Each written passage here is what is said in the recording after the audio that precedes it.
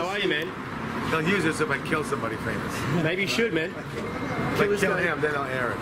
Hey, can I ask you, Ron? How come men are more forgiving of a woman's boob size than a woman would be of a man's penis size? No, they're forgiving of that.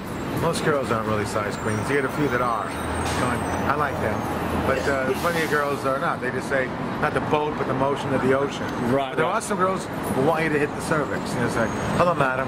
How's your cervix? Why, thank you. I'm dilated. Well, that's a nice sound. I like that. That does happen. Do you think people talk about penis size so much, but in reality, a lot of women probably prefer like a, A medium girls, a lot, size? yeah, a lot of girls are, I'm saying it's not as big a deal as people think it is. And I hate to say this because, you know, 'Cause, you right know. now I'm standing here, my penis is parked in the car.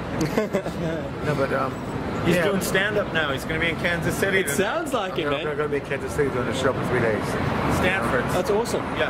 Hey, at at what age did you think to yourself, "Oh my God, I've got a really big penis"? High school. I was in the I was in the locker room with a bunch of black guys. basketball. I noticed I was hung more like them than the white boys. Is that right? Yeah, it's actually what happened. And a girlfriend I was dating said, "You want big. I've dated other guys and you're big."